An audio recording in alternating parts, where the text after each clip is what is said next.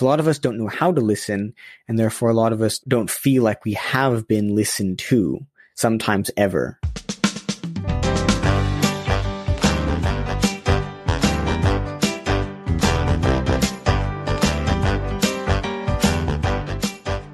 Welcome to the Bro Nouveau podcast, the podcast that models healthy communication for men, empowering them to start the journey of self work. Now, here's your host, Thomas Pierce.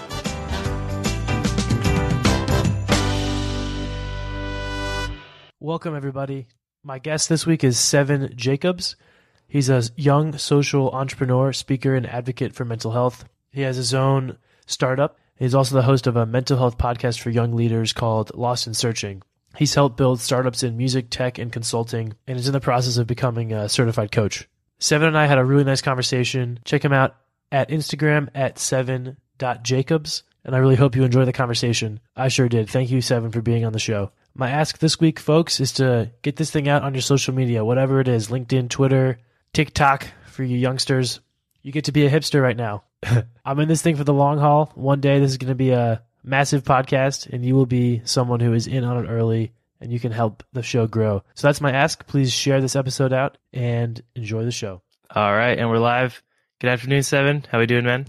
I am great today, man. Thank you so much for having me, Thomas. Yeah, for sure. How is it? How is it over there in uh, in London this time of the year? Well, uh, this has been a strange summer. Climate change and all, I think, has affected us uh, a lot this year. We've had a heat wave, and then it goes into being all weird and super cold, and then back to another heat wave. And so today it's just a normal, very grey British London day.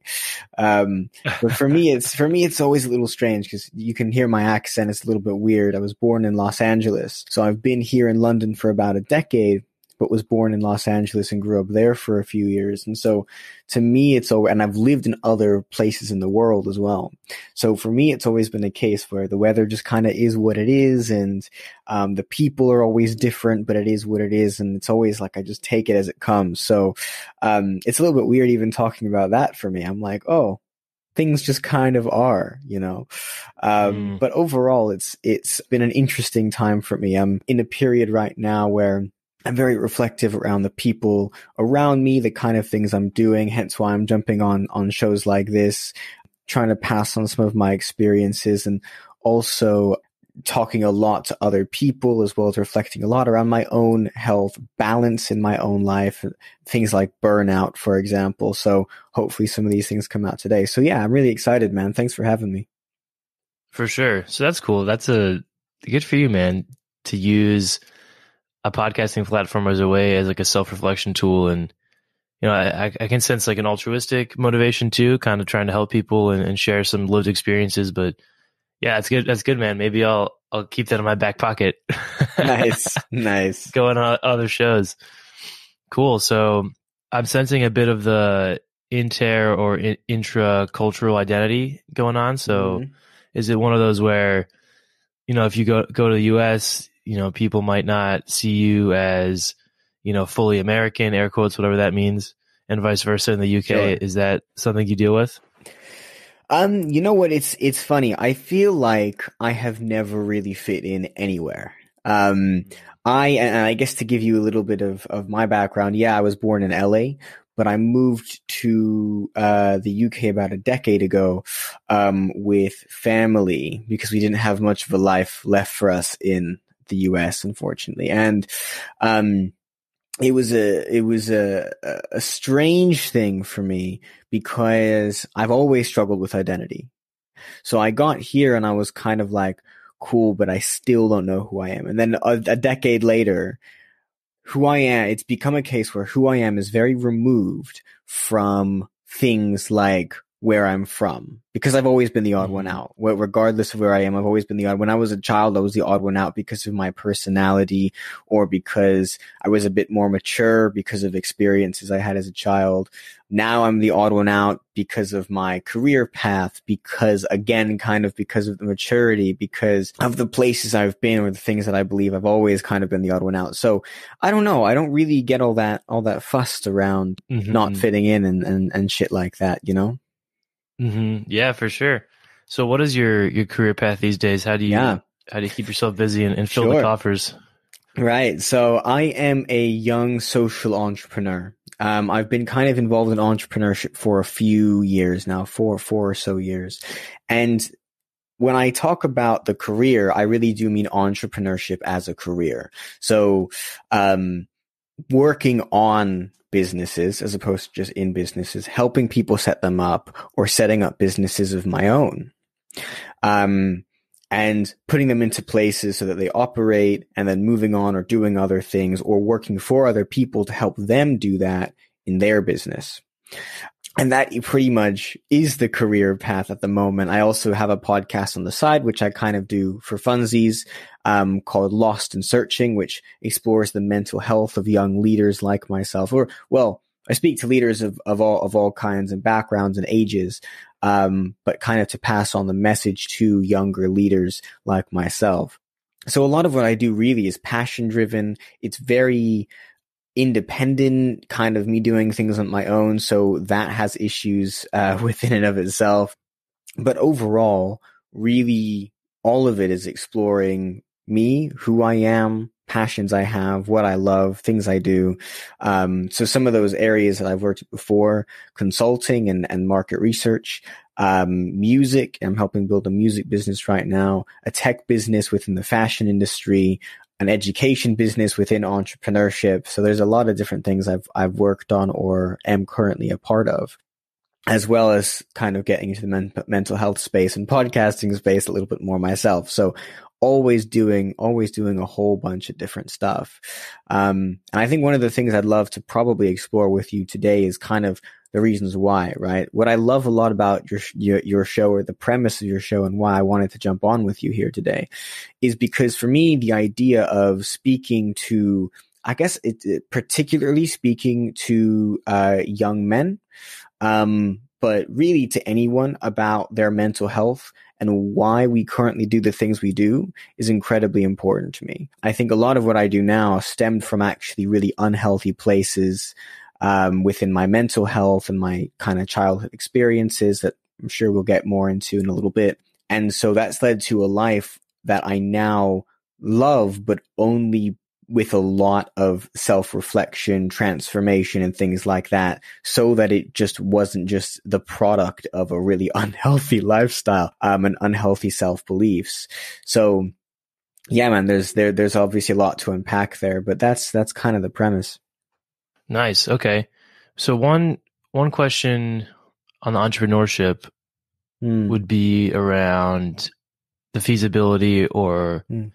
I guess the financial feasibility of that because I think that could be a big roadblocker for a lot of people, Sure. you know, giving up the the stable salary, Hmm. you know, diving into the unknown. Yeah. So for you in the start of that, did you follow a a blueprint for a number of years to save to be able to do that or, or how did it how was it feasible for you and then for somebody who is afraid to take that jump, what would you recommend to them? Sure. Well, I think there's a couple of things here. One is that I, I feel like I'm very privileged in a sense that because I started young, uh, I didn't have to worry about super scary financial implications of it. That being said, because my family's always been poor and struggling in various different ways, or I should say broke and struggling in various different ways, that it was still it was still a bit of a roadblock. It creates a lot of stress. It creates a lot of worry. Once in a while, creates some panic. The the advice I think I'd I'd give to anyone, kind of regardless of your age, but especially if you're not in a place where, like I was, where you had a bit more space to do that, is what all of my network, including myself, have all done.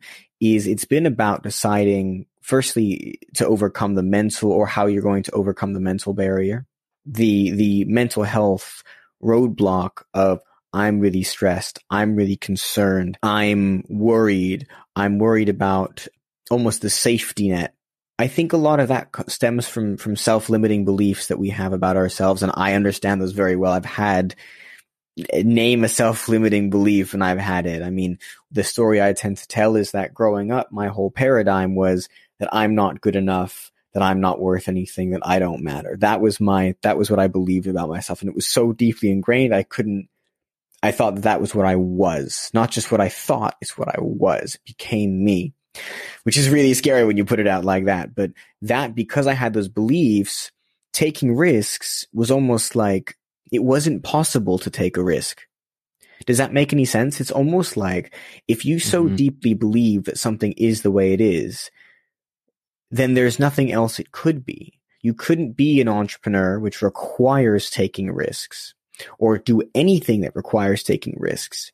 If you so deeply believe that you are whatever it is that's keeping you from taking those risks. If I am the job or I am the person that is afraid of losing a job or I am the someone who's always had this career or I am the person who can't afford to take these risks, then you can never afford to take those risks and you will always believe that's the case. So that's the number one is the self-limiting belief.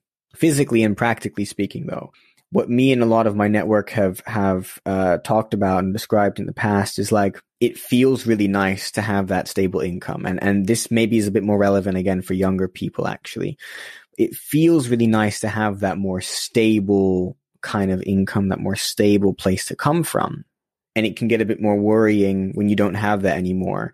If it's a case where it's physically impossible to not have that anymore, you've got to put in extra work to work on your dreams around that right? I i some of the the people i respect the most are the people that are able to hold down two jobs while they work on a on a side hustle or something like that because it takes it it's it takes effort. The idea being that you are setting yourself up for the long term. So sometimes i will take short term hits for long term gains right? I will take a short term not making any money for long term share shares in a business or something like that to that that I know haven't even affected me yet because it still hasn't been enough time. But it will come back eventually, right? I'm setting myself up for long-term success and don't give yourself a reason to feel worse, right? So don't for me it's a case Mm. of I didn't for example I I uh, didn't quit my old job until I knew I could do something else. Until I knew I was ready but the as and I was working incredibly hard to put myself in that position when I was ready. This was my work hours are still about sixty hours a week, you know, um, and a lot of a lot of people are uh, uh, entrepreneurs will be like, nah, 70, 80, they'll keep going. I know at my limit's Mhm. about 60 before I start shutting down, but you know what I mean? It's like you must do what is right for you. Uh, you know what? I think that'd be my biggest piece of advice is you must do what is right for you um, there will be time there will be a, there's lots of advice out there. I can give you my personal experiences but you will require a different balance. You will have different needs. You will have different people in your life to support. Um, and if you totally ignore those specific contextual details you're going to do something that that shoots yourself in the foot because you won't be thinking about your unique context. You won't be thinking about your needs. You won't be thinking about how different you are, how your experiences play into what you can and can't yet do, you know? Think about how different you are and start to tweak your life around that. I don't think there's any other way to do that. There's no one size fits all. Yeah, Exactly. There's no there's no blanket solution for everybody. for sure. Well, that's helpful, man. I think what I kind of heard from that was that there is a necessary risk tolerance at some point Yeah. if somebody wants to go out on their own and maybe the less sexy side of it that people won't tell is that it it's hard work and Mm. you have to work your ass off if you have a dream to go get it which i mean i Mm. guess that that should be obvious but i think our i don't know our our narrative culturally at least here in the us i feel like is kind of Mm. It's evolving and i think the like the work first mentality is is kind of being challenged a little bit it's being a little bit trying to put into balance and put into perspective Yeah. of you know the whole like work to live not live to work kind of thing Mm. but the maybe the the negative side of that is that these more frank conversations about yeah if you want to achieve financial freedom or you want to have your own successful business that breaks you out of you sure. know, the rat race you're gonna have to put in 80 hour weeks for Sure. 10 years maybe You know what? I think we're we're uh, and and I think this is especially true of like Gen Zers and millennials, so like young young and younger people, is where we are at a at a period in time when there is so much more opportunity that not necessarily can be taken, but that can be made, right? So you can take opportunity, but you can make it as well because of on like online spaces, evolving technologies, etc. It is so much easier to create an opportunity for yourself to do something that, of course, we're talking a lot more about working smart as opposed to working hard.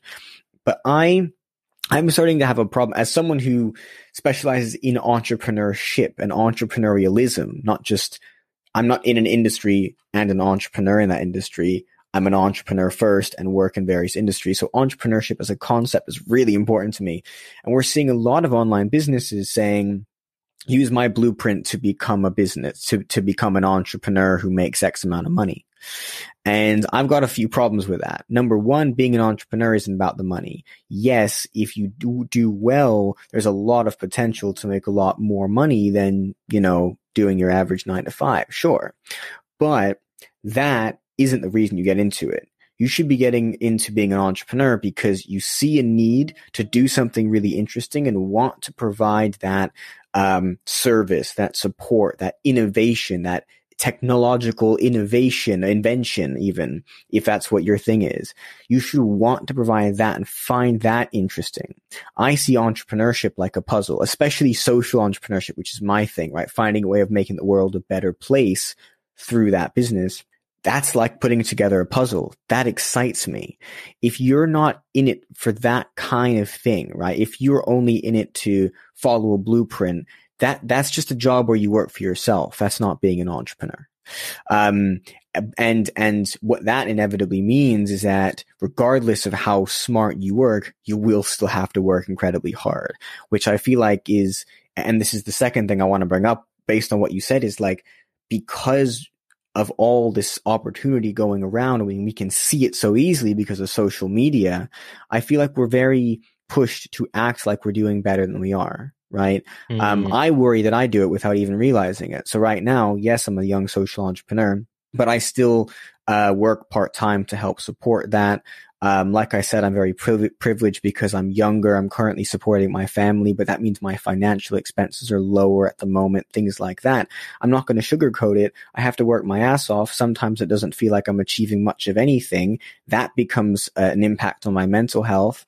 Um, and there's, there's not loads of finances in the bank, but it doesn't really matter because I know, like, I can see where the long-term benefit is and that exists right. and that's factual, but it's not glamorous. Does that make sense? So again, you must know what's right for yourself and do what you love within the balance that is right for you as an individual. Otherwise, you're going to be going down all these rabbit holes that just serve to make your life worse.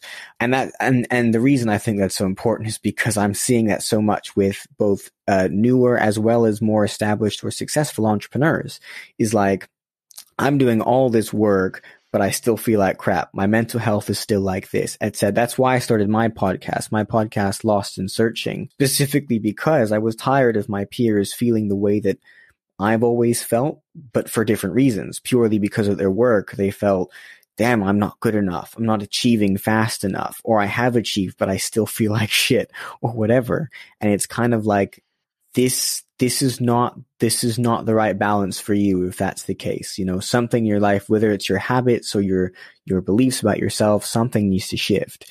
Um, so let's have a conversation about that to see, to see how, how you feel about that and, and why you might feel the way as you feel, you know?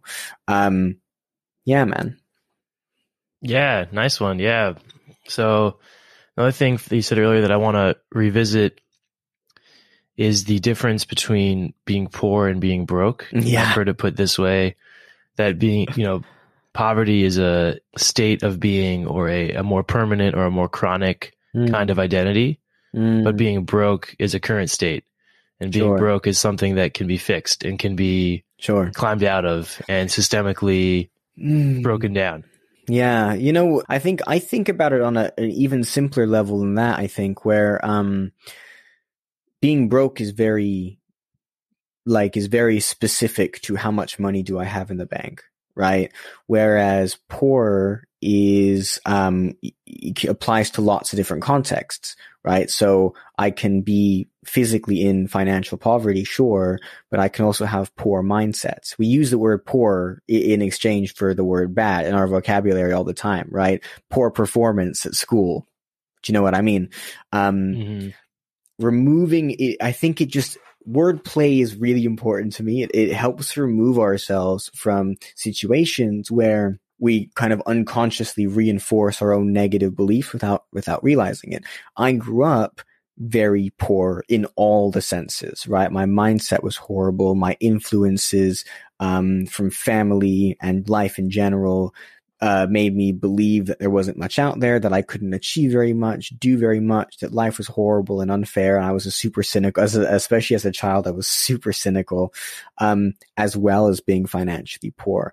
Now I would say, um, you know, if something goes wrong or whatever that that I would be broke, but I wouldn't be poor because I'm so confident in having a much better mindset. But that took an insane amount of work, and because of my mental health, it still runs itself back sometimes, and I've got to rest, and I go through periods of depression or whatever. Do you, do you know? So it's like mm-hmm. just the simple shift of seeing myself in a different light shifted how much I was able to do even in short spaces of time. It's, it's, not just the thing is, it's not just about doing, it's about being. Which version, something, something I love talking about is we have different versions of ourselves. We have different, I, I have different sevens within me. You've got different Thomases within you, right? So with me, I've got the eight year old me who is experiencing homelessness, loss of family, and lots of really negative kind of mindset related influences all at the age of eight. And so I've got that version of me that is small, that is scared, that is still a child because I'm so young, mm-hmm. who is feeling all those ways, who's got all those beliefs. I've got that version of me that still exists in my brain and will probably always exist in my brain. But how often do I listen to that? Or how often do I give energy or give weight to the things that that version of me is saying? Do I let that version of me take over and be the me that comes out into the world? Right. But then I've also got, for example, my wiser self. So my wiser self is me in 10 or 20 years time who knows all the things that I'm going through right now and knows, well, we're still here in 10 or 20 years. Things are okay. As stressful as they get, as strange as they get, as difficult as it might be for you to know where you're going, because obviously the future is not guaranteed. But the me in 10 or 20 years knows that I'm still here. So what was there to worry about? What was there to stress about? I absolutely love that concept because it helps us understand that we'll, we'll have times when we don't feel so great, when things get difficult, where we feel really lost. But actually through the right actions, you know, things, things can improve a lot. Um, or that these some of these things are temporary. So whether it's the mindset of being poor or the physicality of being broke, to use your examples, you know, even that that is might be temporary, or it might be uh, uh, currently factually true, but not uh, but not worth worrying about because we've given it more weight. So if right now I'm broke, but I'm getting paid tomorrow, does it really matter that I'm broke right this second? Do you know what I mean? So, or so, something like that, you know, mm-hmm, that mm-hmm. perspective can change as well, depending on which version of yourself you're listening to. So yeah, man, it's just really important to me that, especially in times when it feels like there's so much pressure coming in from so many different directions, that we're really real with ourselves about what is and what is just something that we've perceived to be a certain way, you know? 100%. I like the yeah, the idea of perspective and how our current state can feel so dramatic because it is. I mean, you know, when we are, are in whether it's financial, emotional, these kinds of distress, it feels like everything, right? Because that's mm. how we perceive. You know, our minds are, you know, we see what's right in front of us, and I think our minds see what's right in front of us, kind of metaphorically too. Yeah. But thinking about the future, and th- this is one I do it's kind of dramatic too, but I'll, if I'm upset about something or worried about something, I'll think about, am I going to remember this on my deathbed? Mm. I the agree. No, I, I could completely. Then fuck it. Yeah, exactly. What's what's the fucking point of that, right? It's like life is far too short to be giving a shit about so many things that don't actually matter. hmm But then, it, of course, it begs the question: what actually matters? So, like using your Mhm. example just now, what what kinds of things do you feel like are worth remembering on your deathbed, and which ones aren't? Right? What kinds of things do you think are worth stressing about or worrying about, and which ones would you do you in your own personal life anyway try to let go of instead? For sure. I guess one caveat to that is things that are not important to me may still matter to other people. Sure. So, for example, relationships. Mm, Let's say I have a romantic relationship or a friendship and I do something that I perceive to be not a big deal, but it still hurts the other person. Sure. Then I would say, for me, change the calculus of, okay, it matters. You know, yes. like Yeah. it does matter on my deathbed, Mm, the people I've hurt or mhm. relationships that I didn't put enough effort into. Like, I think that's an important caveat around, Oh yeah, you know, a hundred the, the selfish nature of the mind. And if, if we strictly think, will it matter to me in my deathbed, then we can kind of overlook potentially Mm. hurting other people. Sure, but then I guess that that's I guess in a way that's part of the question. I think the the better question is Mhm. what is worth worrying about on your deathbed. And yeah, I would for sure. you know Yeah. the the way the way you've impacted others, I do think is one of them. Have I left Mm. love, light, enjoyment, uh, joy, I should say, positive experiences, learning, and interesting conversation, whatever it is that's important to you? Have I left those things in the world? And if the answer is no, or the answer currently is no, I wouldn't have left enough, then maybe you need to shift what you're doing day to day or week to week or whatever, right? for sure. Whereas if you've left too much negativity in the world, you know, have I left enough joy? No, I've I've actually left negativity instead. Oh shit, okay. Well now I need to do something differently. It's a part of the reflection process, you know? Yeah. Yeah. For me, I would say inspiration. Mm. I want to, I want to inspire people to be authentic and be themselves, be Mm. vulnerable, take chances, not live behind a mask their whole lives and not wonder, you know, who's the person I could have grown into if I let myself. Mm. That's a big one for me. And Yeah.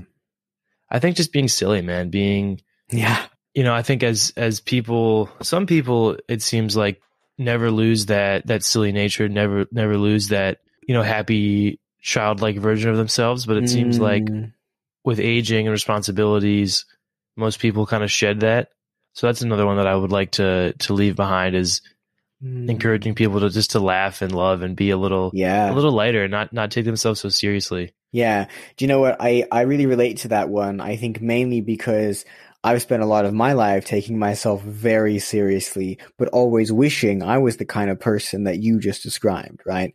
In, in, in my life, especially growing up, I faced a good number of hardships that led to a lot of anxiety, a lot of really tense, like tenseness. I don't know, if that's even a word, but, um, it just Mhm. meant that there's a whole version of me that I, I feel like a lot of people don't see people uh, in my close personal life don't see what I'm like at work. People at work don't realize what I'm like in my personal life, and and sometimes those people don't know what I'm like at all. None of them anywhere. Um, it, it's it's just because I'm still I'm still fairly early in this journey, relatively speaking. It's it's a case of like I know I've taken myself far too seriously. Now, what the fuck do I do about that? Because Mm. um, it, it's it's it's so deeply rooted. It's one of those things that's really really deeply rooted. How have you? So here's a question for you. How have you noticed that within yourself and and tried to to make that change, or or is it a case where you already do it? And if so, what's what's that feel like? Because I'd love to know more about like what is it like to just be this you know bubble of energy or be a bubbly person and and how does that how does that work how do we make that transformation because that's one of the things i struggle with like crazy man Yeah, great question. I think a lot of it is innate for for me.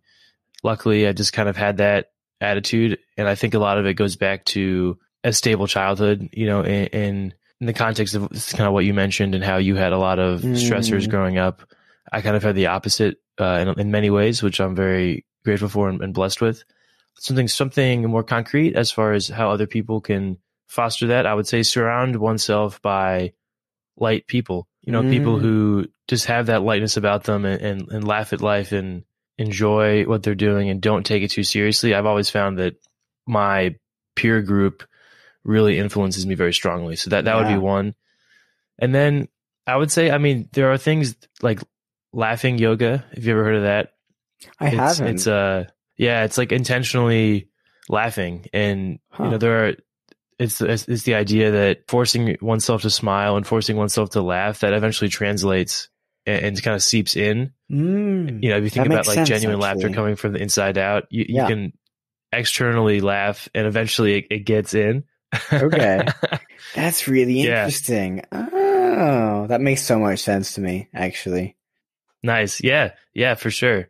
I think, yeah, I would say for me, the peer group is a massive one. And I think just doing things that are, are silly and fun. So for example, like my girlfriend and I, a couple weekends ago, we went to a trampoline park that had a dodgeball course in the trampoline park. Oh, I love we were that. playing dodgeball on trampolines with a bunch of 10 year olds. I've done that. You know what? I, I it sounds so strange because it is mostly children at these places, but I did that like a couple months ago as well, and I was like, "This is the most fun thing I've ever I've done in a long time."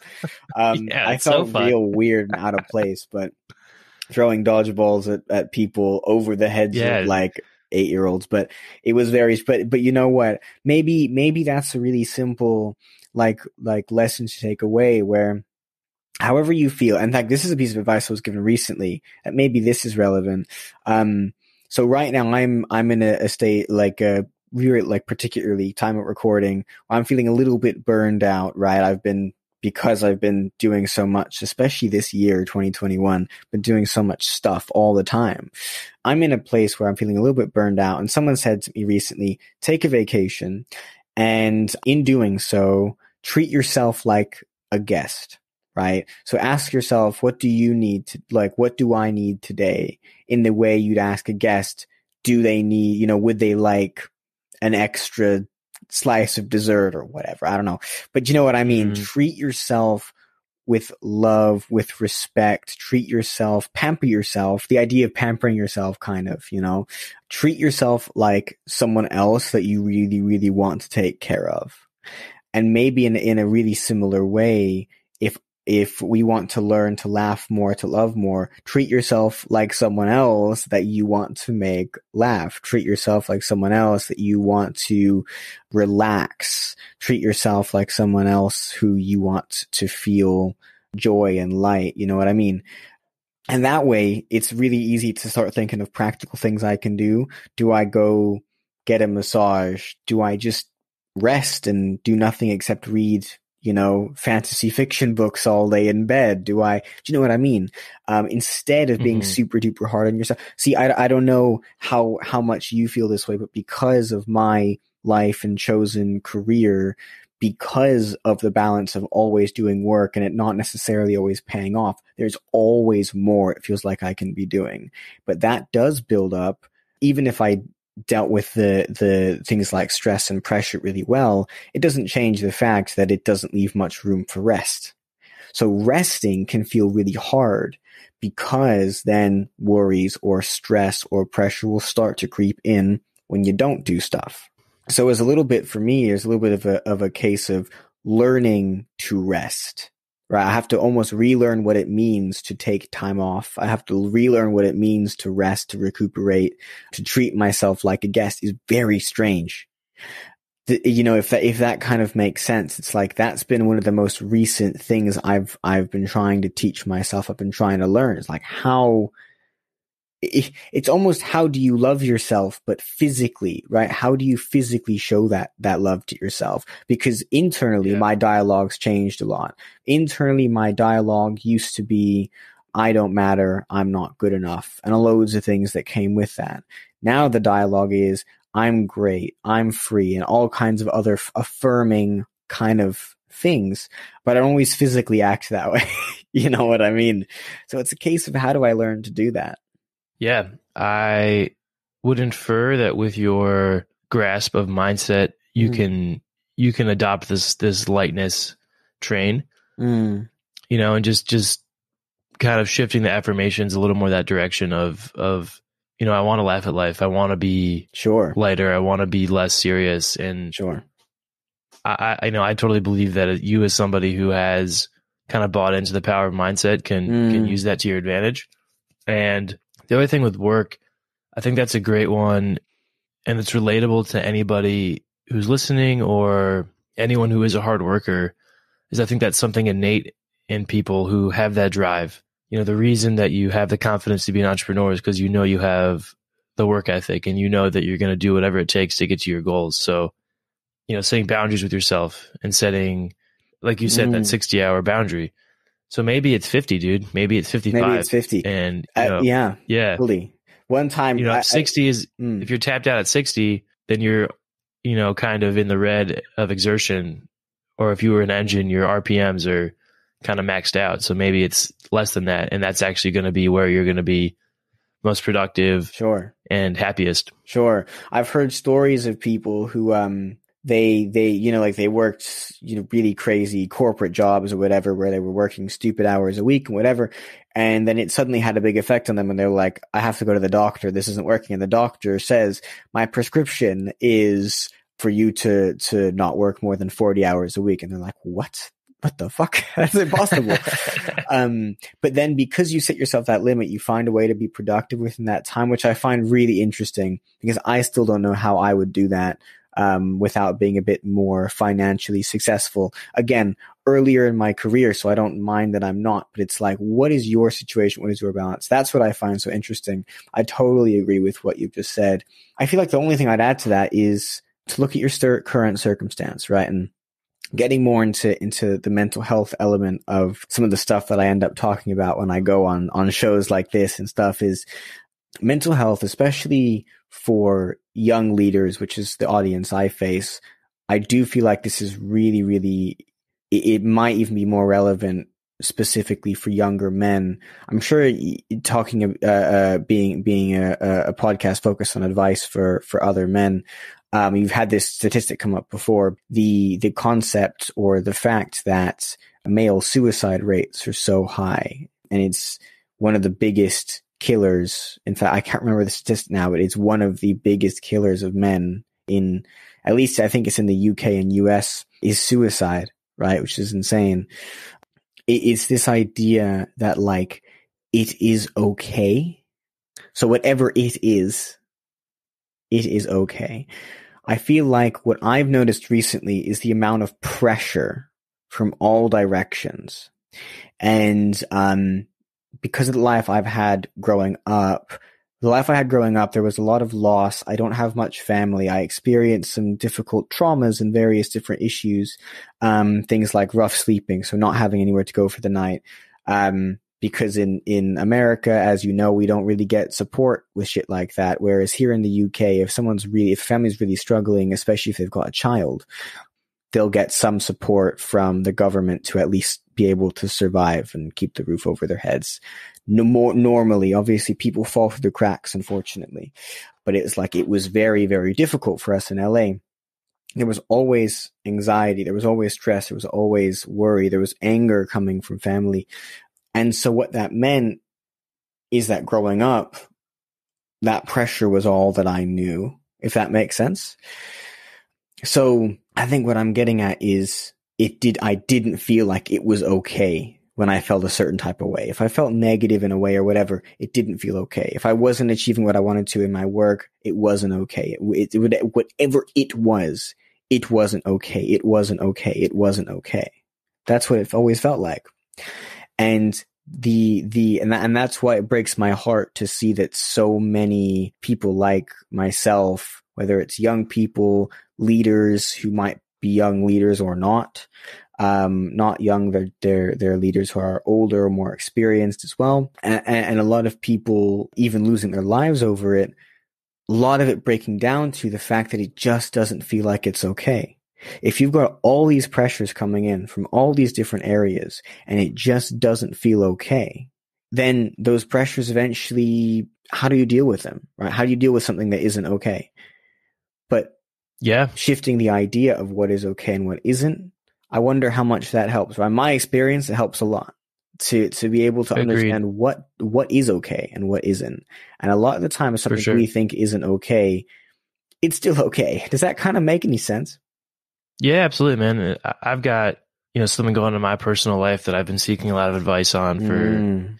you know, from family and friends. And I mean, also the whole concept of seeking advice is kind of problematic because oftentimes the person you're seeking advice from just relays to you their own experiences, Yeah. which can be helpful, but it's not the person asking the questions Yeah. life. So that's a different conversation. But yeah, a lot of the feedback I've been getting on this thing I've been seeking advice on has been it's okay. Mm. You know, and these feelings you're feeling are normal and these Yeah. feelings are okay. And you're not a bad person for having these thoughts and you're not doomed for going down this line of questioning. Sure. So I completely agree with you, man. And that, that message that it's going to be okay and you are okay and, you know, you are loved is massive. And yeah, Mm. suicide is extremely common. Yeah. It's not acknowledged. You know, there are a lot of people out there who have thought about attempting Mm. or have attempted and it's not really talked about in our in our culture and that's something that needs to change. So I'm happy Yeah. you brought it up. You know, my short-term motivations for the podcast kind of were stemmed by the conversation around injustices in, in our country, but longer term, kind of my life experiences and, and things that influenced me were come came from losing friends to suicide Okay. and having very close friends attempt when we were quite young.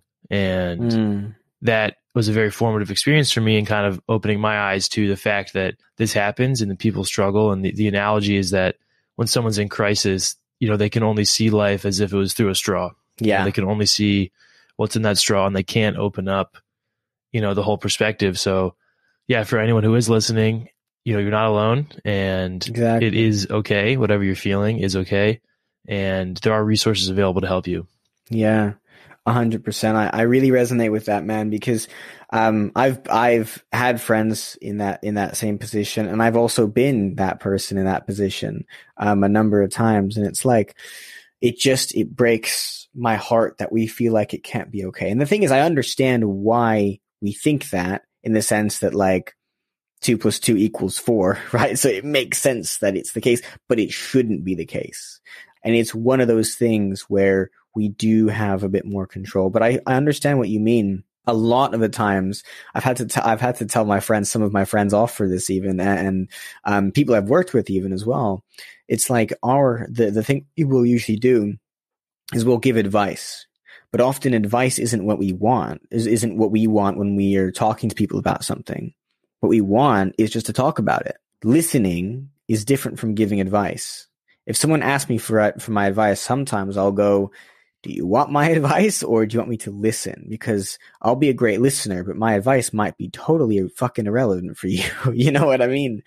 Um, And and, Yeah, and that's sure. the thing. I if I had to give one tip to anyone listening who kind of is along the the the same lines as we are in terms of our thinking is like learn to listen. Something uh, if you ever get into into like coaching or maybe you are into into something like coaching, something you learn is that most of us go through our whole lives never feeling listened to. Period. By anybody. Um, and actually, even as an entrepreneur, there's a, a big part of it is listening, listening to customers, listening to team members, really learning to listen. It's a skill that is so hilariously uh, undertaught and underappreciated in our society. I think it's almost comedic. It's like, you know, when you're in school, it's like, why aren't you listening? If someone's, I don't know, talking in class or whatever, it's like the teacher will, will tell you off and they'll be like, why aren't you listening? Blah, blah, blah, blah. And actually, when they say, why aren't you listening? They don't mean, why aren't you listening? They mean, why aren't you doing what I want you to do? Why aren't you staying quiet? So listening means staying quiet. Listening means not interrupting. Uh, listening means doing a certain thing or whatever, but it doesn't, we've never actually been taught to listen. Listening means hearing and not interrupting for us, I feel like, especially when we're growing up. But it doesn't actually necessarily mean listening. So a lot of us don't know how to listen, and therefore a lot of us don't feel like we have been listened to sometimes ever. And you know, I mean, I think things Yes. like therapy are fantastic uh, if that's what you need. But a lot of the time, I feel like when we go to therapy, we don't necessarily need therapy. We just need someone to listen. So building your own skill of being able to listen to others, I think can be so powerful for transforming the lives around you personally. And I try my best to work on my own And- abilities to do that too. yeah. And seeing people. And just to Mm. clarify, I think we're not saying when we say it's gonna it's okay, like we're not minimizing people's Yeah, crisis, like not Yeah. at all. exactly. It's just it's just a bit of a mindset shift of this is the human condition and this is Mm, part of the deal, unfortunately, or fortunately, if you can flip your mindset on it. But yeah, I, I agree, man. People, that's a very, I think, good concept to leave it on before we switch to the the three things game sure. about how just acknowledging that the incentive structures of our, oftentimes our family structures, our jobs, our schools, our teams Mm, are not really built around the individual being seen and heard. It's more about, for the family example, the family unit being functional, Hmm. and and and families will almost do anything anything to make sure the family unit is functioning at the expense of the individual who maybe doesn't want to fit this mold of this family sure. and doesn't see eye to eye with the values that have permeated the the social structure of the family Mm, and you know it's not incentivized for people to speak up and, and a lot of people don't know how to how to give that true listening to other people so i think that's a yeah, man. that's a good point man It's it's but i know we have five minutes yeah. Let's So jump. gonna- let's jump to it. I'm interested mo- in this game. the- let's do it. yeah yeah it's fun so uh, what month is your birthday in July. your birthday is sooner than mine so you're going to go first and what so it's a question you'll get a question Mhm. that you answer i have a different question that i answer Okay. and i this is your question man i think it's going to be a very good one for you Okay. What are three things your childhood taught you? Wow, that's a fantastic, relevant question. um, three things my childhood taught me. Whew. Number one, I would say is don't let your your parents' beliefs or guardians or whatever influences, but for most of us, it'll inevitably be our parents. Don't let your parents' beliefs in what is possible for you become your belief in what is possible for you. Create your own belief for what is possible for you. Even if they believe fantastic things were possible for you, it might be that what mm-hmm. those fantastic things were are different. Number two, ooh, number two is how do I phrase this? Number two is probably around trauma. My childhood taught me to be afraid of things that are going to hurt you. My childhood taught me that uh, certain ways of acting or being or thinking are not okay. Um, things like that, and then those become became either traumatic experiences or really deep rooted beliefs. And so the takeaway for me now in my life is don't let those childhood experiences define you. You can learn to rise above whatever things end up being a little bit traumatic for you or causing some kind of habit as a, as an adult. And a number three, a number three is really, really hard. I think number three would be much more simple. I want to, I want to keep number three more fun, uh, and more light. Um, and those first two are a bit heavy. Laughing is fantastic. right? You know, you know when you're just being, and you know what? Even create creating. I, in fact, I'm going to add to that. Creativity is fantastic. I remember being a kid and just, you know, a little kid running around with my friends, pretending like we were in Narnia or whatever, just enjoying life, enjoying make believe, interesting, fun scenarios. Um, like video games in our heads, basically have that creativity that makes you laugh, that makes you excited, that makes you interesting, that stimulates your brain. That is okay. Like as adults, we're like, no, let's be more serious, which we talked about earlier. Actually, my childhood taught me life can be fantastic if you if you let that more creative more creative and fun side out life will feel amazing. Hell yeah. Go for it. Cool. Nice man. Thank you for sharing sharing. Here's my question. Another relevant question. What are three things i have learned about listening? Yeah number one i really enjoy listening. I, I enjoy it. My recent guest nico had a good line from his dad which is uh you have two ears and one mouth. So i try to follow that because I think you can learn things quite quite quickly with with active listening, and it also, like we talked about, lets people gives people their humanity and gives them the the power essentially of you know what someone's listening to me and the things I'm saying, the things I'm thinking and feeling matter, and this person, you know, cares enough to listen. Yeah. and that that's that's very powerful. nice Number two, I would say is that you know to to actively listen takes energy and it takes mm-hmm. empathy and takes emotional bandwidth. So yeah knowing when to say, "Hey, I'm I'm tapped out right now. Yeah. Like, I I can't I can't be here. I can't I can't meet you where you need to be met right now. can we can we circle back around in, Yeah. in uh, this time tomorrow? Oh my god, That that's so true. I feel that so much. So- because it feels strange to not say that, but sometimes you gotta, man. I feel that. For sure. So, you know, and, and it's it's a respect thing for the other person too. Like if they really need to talk, and you, I don't know, I don't have the the energy. You know, that's a. It's better to be honest about that. I would Yeah, say. yeah. And number three, man, I think that our interpersonal relationships on a micro level in our society, you know, our, our global world, countries interacting with each other would be much more productive and less conflict oriented if, if people could listen to each other. So, Completely agree, man. Completely. yeah, awesome. Dude, Seven, thank you so much for, for hopping on the pod and sharing your, your thoughts and your wisdom. I really enjoyed our conversation. Yeah, thank you so much for having me, Thomas. I enjoyed it.